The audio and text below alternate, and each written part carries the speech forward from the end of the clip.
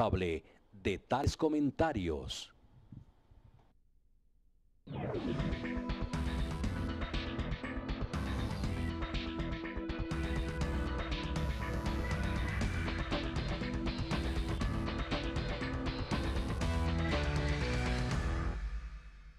Muy buenos días para nuestros amables televidentes que se conectan con el canal 6 de Colcable. Bienvenidos a una nueva emisión de Pensamiento Libre que nos agrada hacer en compañía de nuestro editorialista Alfonso Guzmán. Muy buenos días. Hola, amables televidentes. Buenos días, Caterina. ¿Cómo está? Bien, Alfonso. ¿Se arregló las mechitas al fin? Sí, señor. Cabello bonito, pues. Porque qué problema con usted para la maquilladora, ¿no? Sí, qué problema. Sí. Pero bueno, ya está arregladita, ¿no es cierto? Le cuento una cosa, hoy, hoy es, vamos a tratar de algo que no tiene arreglo y que es una situación muy compleja, eh, demasiado difícil, porque a uno se le hace imposible que una institución de estas tenga tantos problemas, tantas cosas tan complicadas. Pero antes de eso que decirle a los amables televidentes que no se les olvide que el país, Colombia, es de nosotros nuestro país es de nosotros. Nuestros gobernantes, nosotros les pagamos para que hagan las cosas bien. Y también decirles que hay que apoyar el capital colombiano. No compre productos de mala calidad, compre productos colombianos. Así le damos trabajo a la gente y disminuimos el desempleo. Caterine, mm, voy a dejarle a usted la vocería porque me duele lo que vamos a hablar hoy. Bueno, Alfonso, pues hoy vamos a hablar de en pensamiento libre de algo que está pasando con el Ejército Nacional de Colombia, con esta institución que es tan importante y que desafortunadamente nuevamente, valga la redundancia, es blanco de muchísimas críticas y de muchísimos escándalos. Pero yo creo, Alfonso, que antes de iniciar nuestro programa de pensamiento libre, es bueno decirle a nuestros televidentes que si bien es cierto lo que vamos a hablar hoy es muy grave, no todo el Ejército Nacional eh, está involucrado en estos escándalos porque la gran mayoría, Alfonso, sin duda todos los días arriesga, su vida por cuidar y proteger a los ciudadanos. Sin embargo, hay que decirles que cuando la cabeza mayor, cuando el que ordena las cosas eh, en el ejército se tienen que cumplir. Entonces, allá hay una disciplina que el subalterno tiene que cumplir. Y eso nos preocupa más porque así el ejército quiere hacer un ejemplo de honestidad, si los grandes jefes, los grandes generales están cometiendo ilícitos, eh, en este caso nos duele, vuelvo y le digo a, los amables televidentes, porque es nuestro ejército, es la cara de nuestro país, la cara de la seguridad de las fronteras. Es decir, nosotros nos vemos muy mal, pero tenemos que comentar esto. Hay que también eh, darle crédito a la revista Semana, que hizo esta investigación. Nosotros somos suscriptores de, la, esta revista. Nos parece gravísimo lo que ocurre en el ejército, nos parece gravísimo las secuelas que puede tener.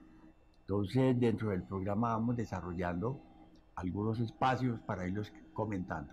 Bueno, Alfonso, porque son varias las denuncias que revela esta prestigiosa revista, donde al parecer ellos argumentan, Alfonso, que tienen documentos, videos y audios que relacionan a militares del ejército y a los altos comandantes, Alfonso, en diferentes irregularidades, como por ejemplo eh, la legalización de dineros y de buena parte de dineros, eh, Alfonso, para algunos comandantes en cosas que son primero personales y segundo que viene siendo un poco fraudulentas, Alfonso. Pero hay que, es una parte de las Pero hay que decir también a los amables televidentes que no es la primera vez.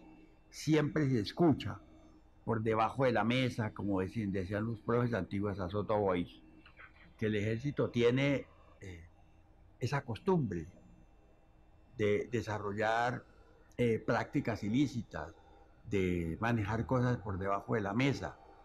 Nos parece muy grave, extremadamente grave, que era lo mismo que decíamos en el último editorial de Venezuela, porque se trata de nuestro país, se trata de el dinero que tiene un gravísimo, gravísimo, gravísimo momento crítico ante el pueblo colombiano.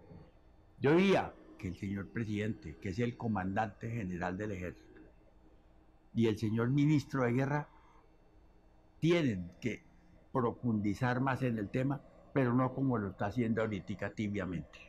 Es cierto, porque eh, esta, denuncia que les acabamos de compartir es apenas una parte, Alfonso, de lo que se ha venido eh, gestando y de lo que han venido denunciando medios de comunicación en los últimos meses que ocurre en el ejército.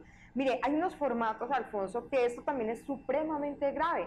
Hay unos formatos que presentan los comandantes y las personas que integran el ejército, no todos, por supuesto, donde se muestran cómo ellos han colocado cifras donde evidencian al parecer que eh, eh, han duplicado los resultados o el número de bajas, Alfonso, para que así logren tener incentivos, ascensos y bueno, no sé qué más cosas bueno, hay traslados, pero, pero, es que, pero es que mire, Caterine, la cosa está tan grave, tan grave, que hasta falsificación de certificados de estudio.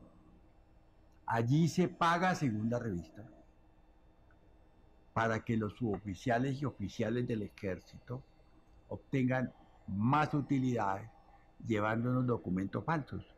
A nosotros nos parece que el, Estado colombiano, la gente, el pueblo, los comandantes, los comandantes honestos, deben de inmediatamente tomar una decisión de fondo, señor ministro, le agradecería al presidente de la República, al ministro, que tomara una decisión de fondo de intervenir inmediatamente toda la parte administrativa del ejército a ver qué es lo que ocurre. ¿Por qué?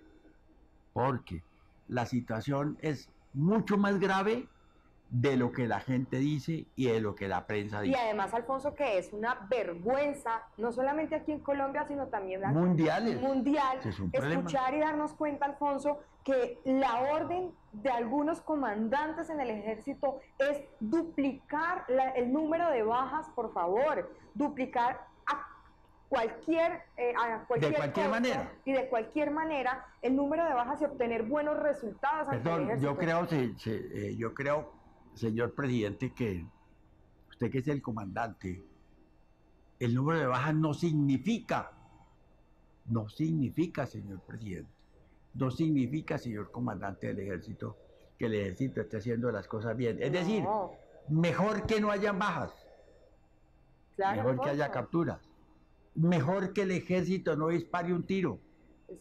Pero que haya eficiencia, que haya control del Estado, que haya presencia para que se defiende el campesino al campesino que produce. A nosotros nos da asco escuchar esas palabras.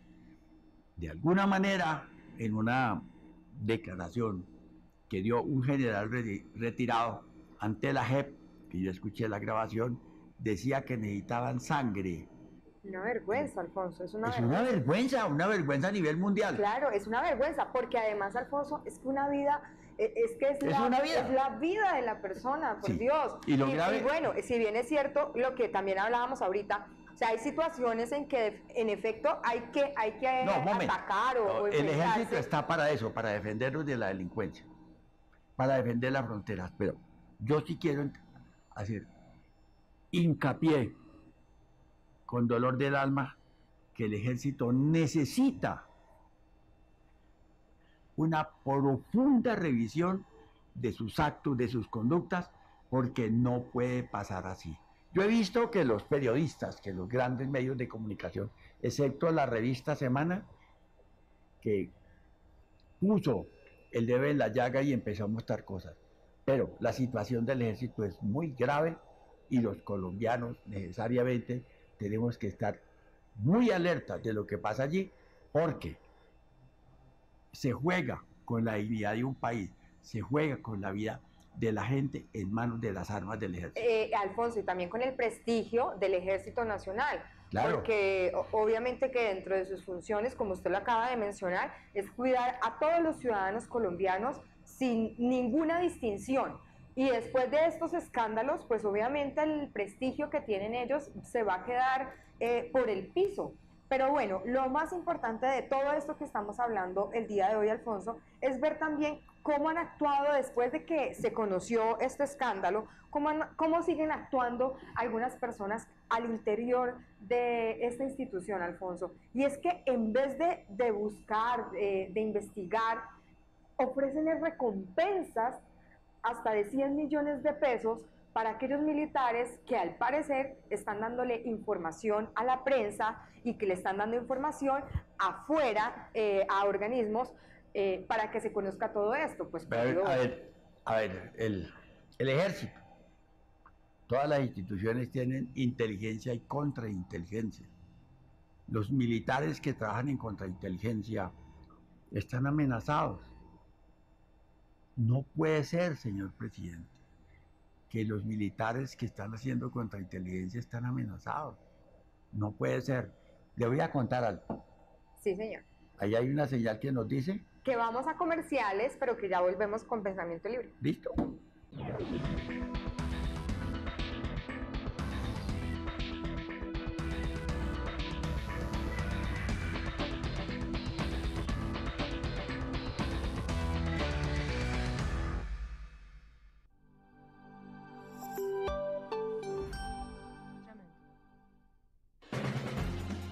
Al Día, dirigido a las diferentes localidades de la ciudad de Bogotá y municipios de Cundinamarca que se ven afectadas con problemáticas sociales, económicas, educativas y judiciales. Este espacio es conducido por Angélica Prieto, comunicadora social y periodista, y Enrique Casas, líder comunal.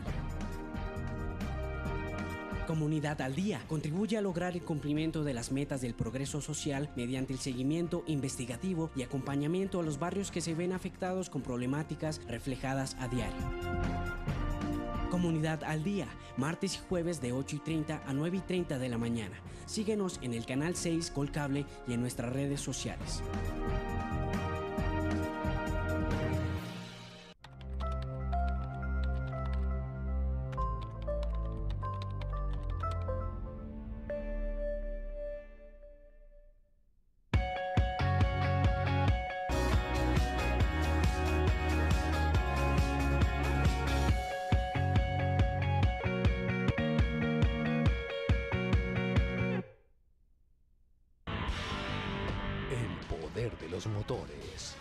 Aceleradores a fondo, mujeres bellas, autos de carrera, de calle y de colección, máquinas a punto.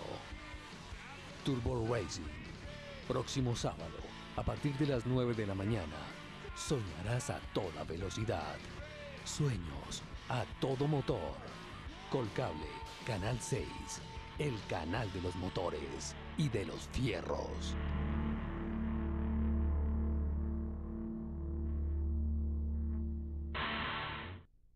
Atención amiguitos, ustedes que son parte fundamental de nuestro programa, queremos invitarte a participar con nosotros. ¡Les esperamos! Usted, amiguito, angelito que sabe cantar, bailar, dibujar, aquí, aquí con las puertas abiertas en su programa familiar Minutico Kiss. ¡Los esperamos! Colcable Televisión Canal 6, aquí Minutico Kiss y Chispín los estamos esperando.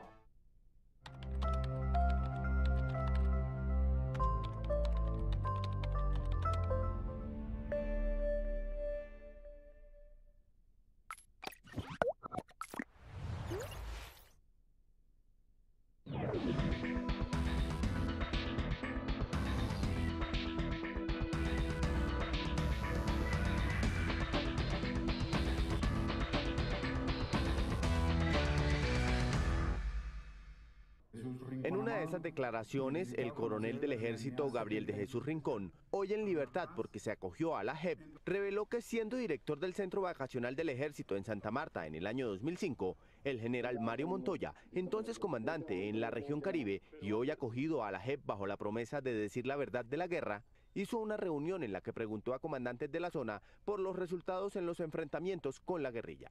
Y una vez terminando la reunión que se tenía de tipo operacional, eh, el general Montoya me manifestó en forma personal, me dijo, ¿y usted, Rincón, ¿cómo le va a aportar a la guerra? Rincón le respondió que la función que tenía en el centro vacacional de Santa Marta era solo proporcionarles bienestar a los militares que llegaban a descansar. no, no, no, no, no, hermano, eso, no. ¿Usted cómo me va a, cómo me va a apoyar a, la consecución de resultados? No lo entendí en ese momento y me dijo, hermano, usted lo que tiene que hacer es, vaya, saque unos tipos del anfiteatro, unifórmelos y preséntelos como resultado. Un año después, en 2006, el coronel Rincón fue trasladado a la Brigada Móvil número 15 con sede en Ocaña, norte de Santander, como oficial de operaciones. Allí entendió que los falsos positivos eran necesarios para que no le llamaran la atención por resultados operacionales y narró otra reunión en 2007 con el que ya era comandante del Ejército General Montoya, esta vez en Cúcuta. Y la incidencia directamente del general Montoya era ¿Usted cuánto tiempo lleva? Le preguntó al coronel Santiago y a otros. ¿Cuánto tiempo lleva en la unidad? Llevo tres meses. ¿Y en esos tres meses cuántas muertes en combate lleva? No, no llevo ninguno. Nos contestaron, no llevo ninguno. A los que contestaban, no llevo ninguno, ya, hay que relevarlo. Hay que sacarlo aquí porque eso no me sirve. A mí me tiene que dar esos muertos y resultados en combate. Montoya puso información a los comandantes de batallón para preguntarles por las bajas de cada uno de sus grupos. Cuando vio al coronel Rincón, lo conminó a aportar resultados. Me dijo, ¿qué hubo Rincón? Ahora sí está en la guerra, ¿no? Ahora sí va a aportarle como debe aportarle y si no, entonces tocarlo de baja. El coronel Rincón, un experto en morteros, estuvo en la Brigada Móvil de Ocaña hasta el 14 de noviembre de 2008, cuando lo retiraron por el escándalo internacional producido por las ejecuciones extrajudiciales del ejército colombiano en esa época. En sus declaraciones, Rincón ha aportado documentos que verifican que sus afirmaciones son ciertas. Aquí lo que exigían eran muertos en combate y como lo manifestaba en sus programas el comandante del ejército, era litros de sangre, tanques de sangre. A mí no me importa nada de capturas. A mí me tienen que dar son muertos en combate. Y los muertos en combate era como diera lugar. Según reporta el coronel Rincón, los oficiales también debían llenar formularios como los del escándalo que reveló hace poco The New York Times, en los que informaban días sin combate, días sin resultados, días sin muertos y otros detalles de la guerra. Y después de estas fuertes declaraciones que les habíamos compartido a todos ustedes hace algunos minutos, continuamos hablando entonces de un tema muy preocupante que ocurre en Colombia, especialmente con el Ejército Nacional, Alfonso, y para nosotros de verdad es muy lamentable que después de tantos años continuemos prácticamente en lo mismo, con las mismas denuncias y, con los mismos y lo grave, Lo grave, Caterina y amables televidentes, es que el ejército de tener una moral a prueba de todo, a prueba de balas, a prueba de conciencia, a prueba de emociones y de pasión, porque ese uniforme que lleva el ejército es el honor de los colombianos.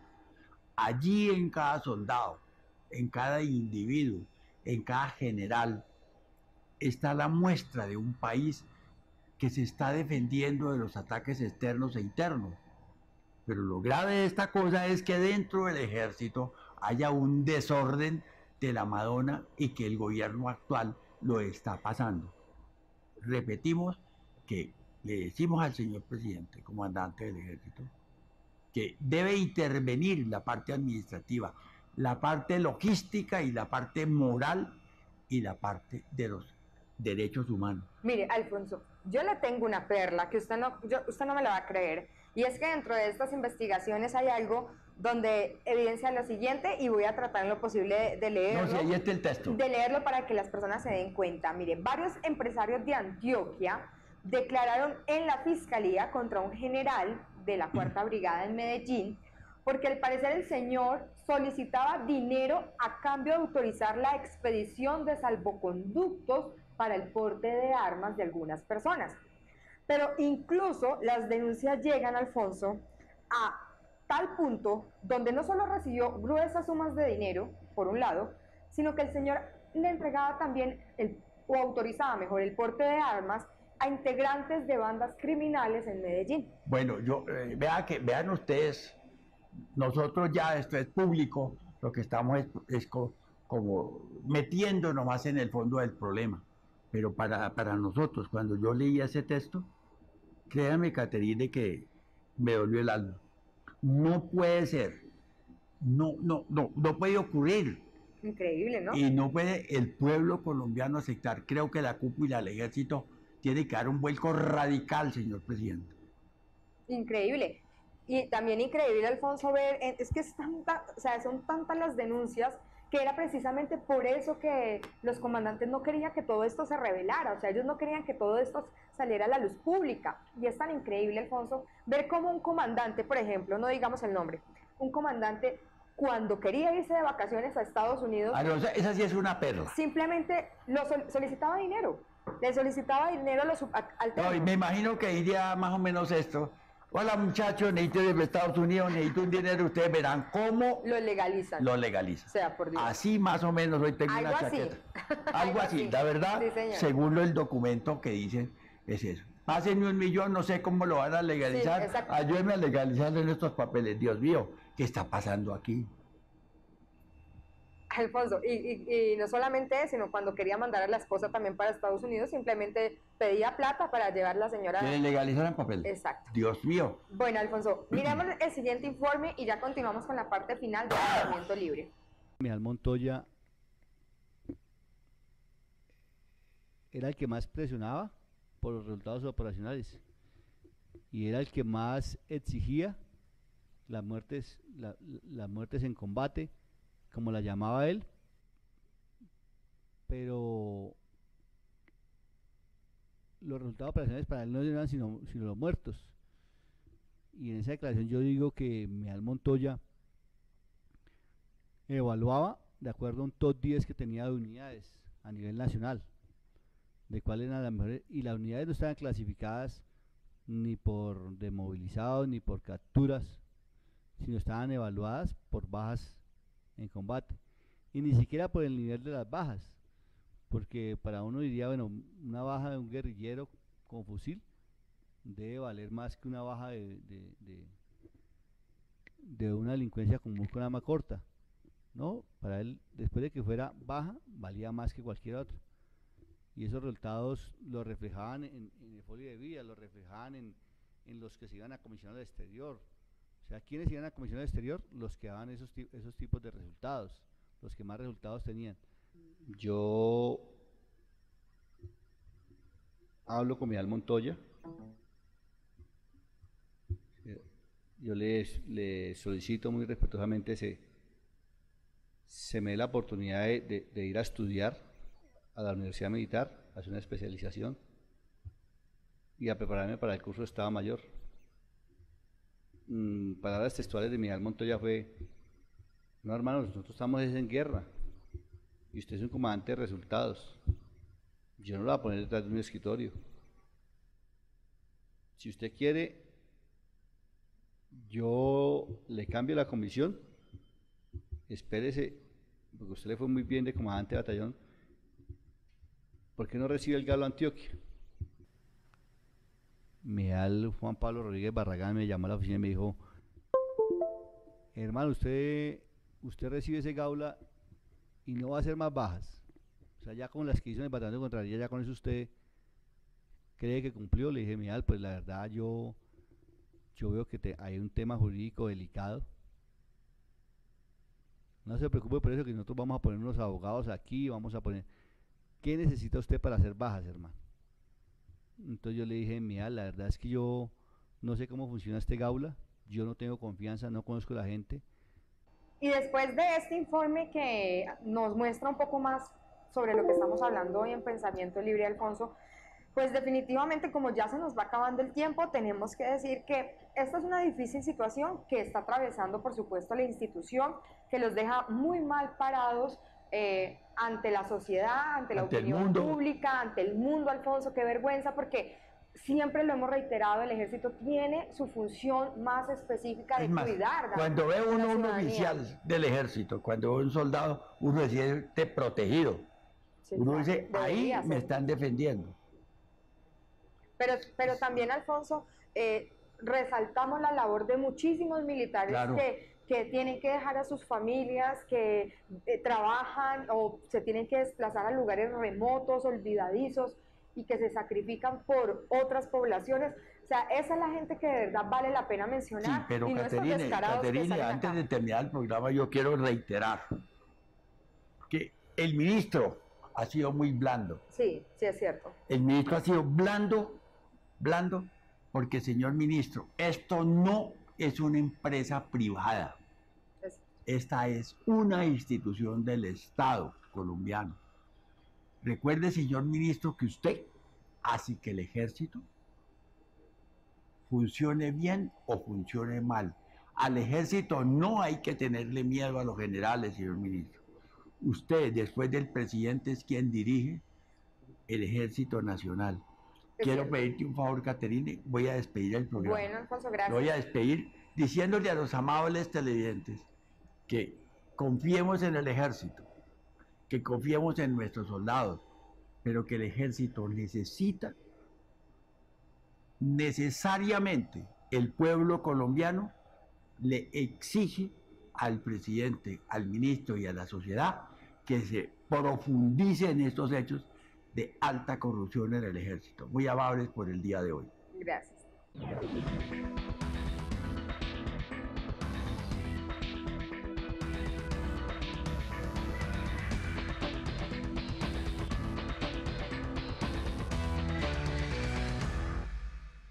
Un saludo para ustedes y lo hago con mucho